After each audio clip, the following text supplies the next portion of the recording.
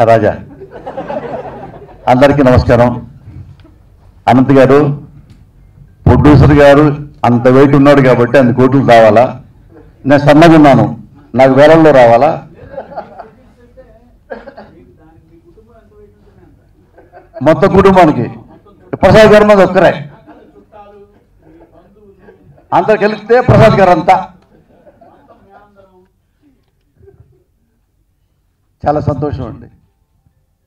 పరశు ప్రసాద్ గారు మీకు శుభాకాంక్షలు.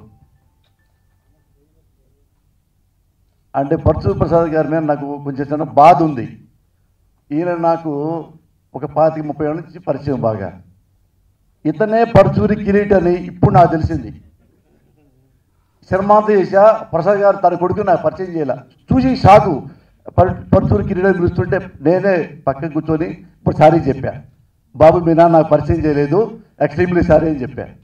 చాలామందికి ఇండస్ట్రీలో ఐదేళ్ళు ఉన్నా పదేళ్ళు ఉన్నా ఇరవై ఏళ్ళు ఉన్నా కానీ వాళ్ళ పర్సనల్ టేస్ట్ అది పోదు.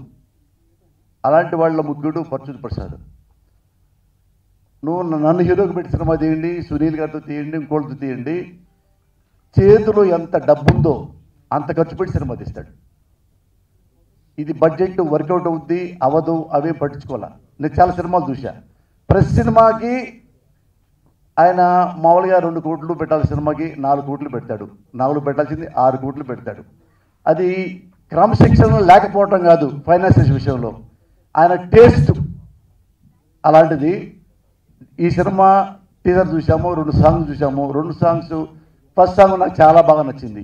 అంటే ఫోటోగ్రఫీ డ్యాన్స్ మాస్టర్ మూమెంట్స్ అవన్నీ నాకు చాలా చాలా బాగా నచ్చింది ఇందులో నాకు కూడా మంచి క్యారెక్టర్ ఇచ్చారు. ప్రసాద్ గారు డైరెక్టర్ గారు. ప్రసాద్ గారు మీకు కొంచెం ఆవేశం కోపం ఉంటుంది. ఎబో వాళ్ళ సిన్సియారిటీ ఉంది.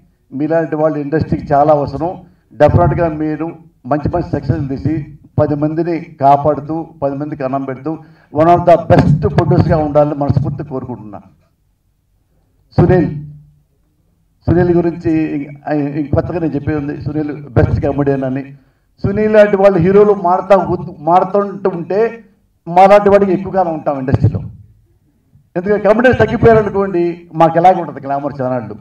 అందుకని చాలామంది కమెడియన్స్ హీరోలు అవుతూ ఉంటే నాకు చాలా ఇంకా పదేళ్ళు ఎక్కువ బతుకుతా. సునీల్. ఇక నన్ను కూడా హీరో లెక్కేస్తే ఇంకెవడు మిగలదు ఇండస్ట్రీలో. అంటే అది మెంటల్ ఇష్టం అంటే ఆ క్యారెక్టర్ అలాంటిది కాబట్టి నాకే సూట్ అవుతుంది కూడా వేసా అదే పని వేస్తున్నాం అనుకోండి నేను కూడా మొత్తం మా ఇల్లు తర్వాత పొలం తర్వాత అపార్ట్మెంట్లు తర్వాత మా వాడి నగలు. ఫైనల్గా కట్ చేస్తే కృష్ణనగరం. కృష్ణపురంలో కేరామ్ కృష్ణనగరం అది చేయదలుచుకున్నాను నన్ను?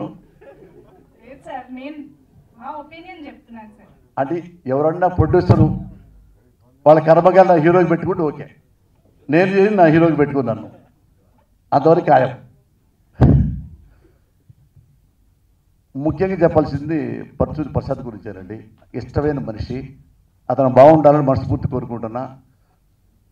సునీల్కి నేను ఒకటి చెప్తున్నా. టీచర్ సందర్భం కాదు అని ఏం చెప్తున్నానంటే సునీల్ నీకు ఎవ్వడు అవసరం లేదు. నీకు ఏ మేనేజర్ అనేవాడు అవసరం లేదు. నువ్వే నీ డైరీ నువ్వు చూసుకో. సంవత్సరానికి మూడు సినిమాలు మూడు నెలలు మూడు నెలలు మూడు నెలలు చేయి మూడు నెలలు నువ్వు ఫారెన్ ట్రిప్ తిరుగు. హీరో కృష్ణ గారి లాగా మూడు సినిమా హీరోగా చేస్తాం. కృష్ణ గారు చూడండి. కృష్ణ గారు డెబ్బై ఏళ్ళ వరకు ఆర్టిస్ట్గా వేషాలు వేస్తూనే ఉన్నాడు.